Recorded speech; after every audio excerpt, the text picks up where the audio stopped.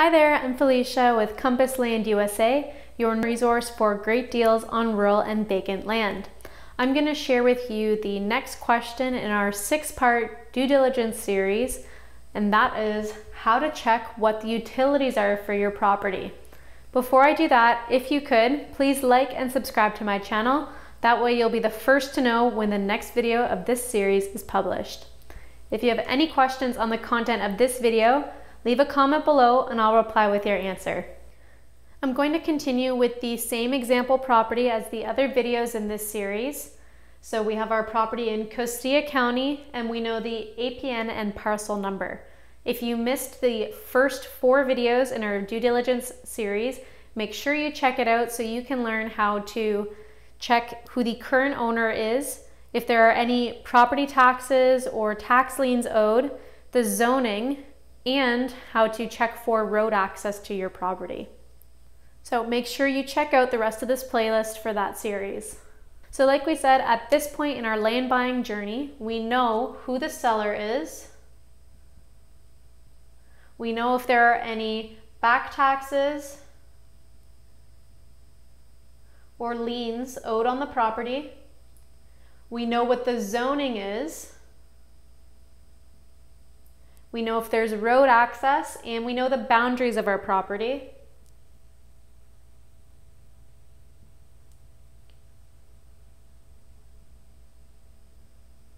The next thing that we need to do is check for any existing utilities and also find out if there aren't any utilities, how much it would cost to bring them in.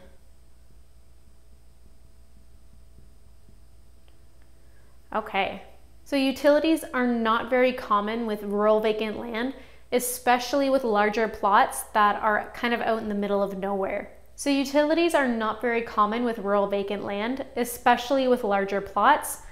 If you're looking at a more residential parcel that's kind of near a town or a city, you're much more likely to have some utilities already in place. Now, either way, doesn't matter what kind of property you're buying, it's good to check so you know exactly what you're getting yourself into. Okay, especially if you know that you do want to have utilities at your property, because if there aren't any there right now, it can sometimes be incredibly expensive to bring utilities in. And that might make you change your mind about whether or not you want to buy that property. So in previous videos, we went over how you can either use the county's online resources or give the specific departments a call to figure out the answers.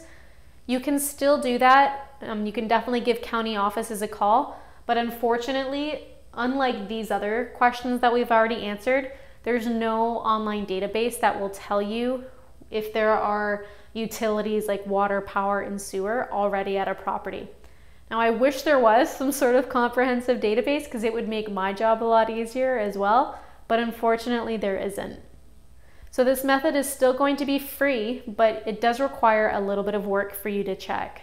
And unfortunately, there's no way around it. You're going to have to make some phone calls.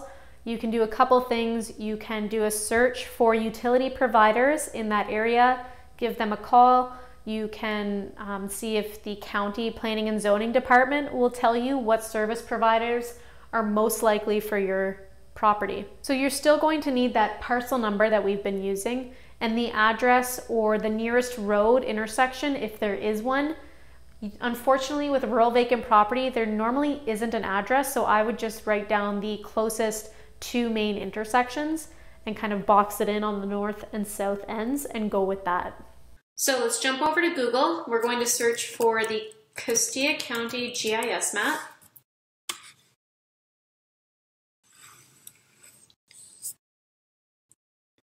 Now we've already gone over this in video four, so we're just going to quickly navigate to it. Okay, we're going to search for our parcel number. Oops, accept.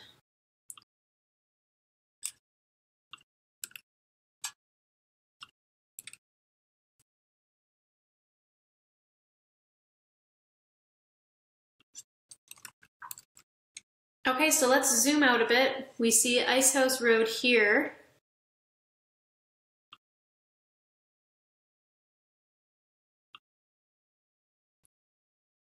So I would definitely write down this intersection, Icehouse Road and Bidley Road. So that's one. And then on the opposite end, on the south side, I don't know if I would record Buchanan Road because it looks like a crescent. You definitely want to try to find more of a main road.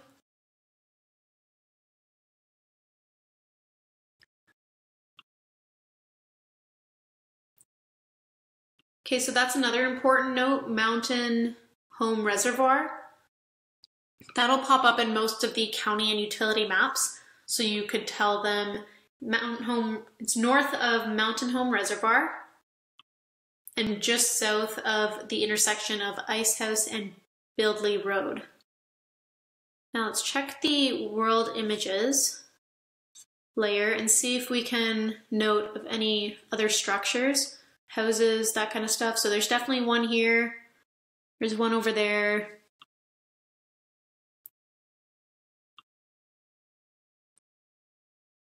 It looks like there's one there as well. Well, so that's a good sign. It looks like this area does have utilities or it must not be that expensive to bring utilities there if there are properties kind of more isolated without any neighbors. So let's head over to Google. Now the next thing that I would do is type in Costilla County power.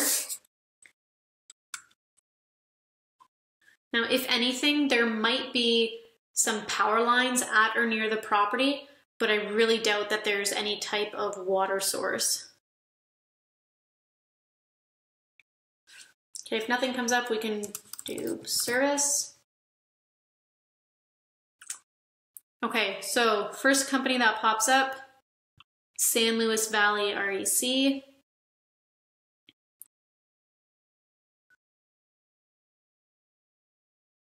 And we see that they do service Costilla County, so I would definitely call them first. You might have to leave a voicemail. The utilities I've dealt with, or the utility companies I've dealt with, don't always get back to you right away. But if you leave a voicemail, they will call you back as soon as they can. They're normally pretty good for that. If for some reason they say they don't provide um, that area of, of Costilla County, I would just ask them what's the right company and number that I need to contact. And they can normally help you out, maybe not with a number, but at least with the name of the company that is the correct uh, power provider. For water, I would actually call the county's planning and zoning department or perhaps the building and developments. It doesn't matter which of these you call because they will direct you to the correct internal source or county engineer. Now, while you've got the engineer on the phone, ask them about septic systems and wells uh, and what the minimum requirements are and how to get a permit for one. Okay, so for utilities, unfortunately, it's not as clear cut as these other four questions we've already covered, but you do know that for power, you get the location of your property, which you know how to do from video four and then you can do a Google check for the power providers in that area. For water and sewer,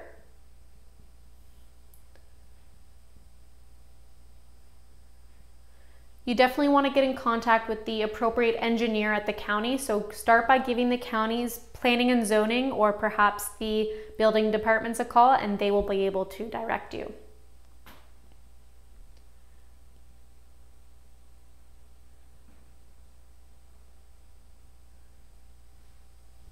Okay, so like I said, unfortunately it's not as clear cut, but at least now you know the process of what to do and how to figure out if the vacant property that you want to buy has utilities. While you have these guys on the phone, you can also ask them what the cost is to bring utilities to that area. The next due diligence item on your checklist should be how to check for slope and elevation. And I'm going to go over that in the sixth video of our series. If you enjoyed this video, please make sure you like it, share it, tell a friend about it, and don't forget to subscribe to our channel. That way you will be the first to know when the next and last video of our land buying series is published.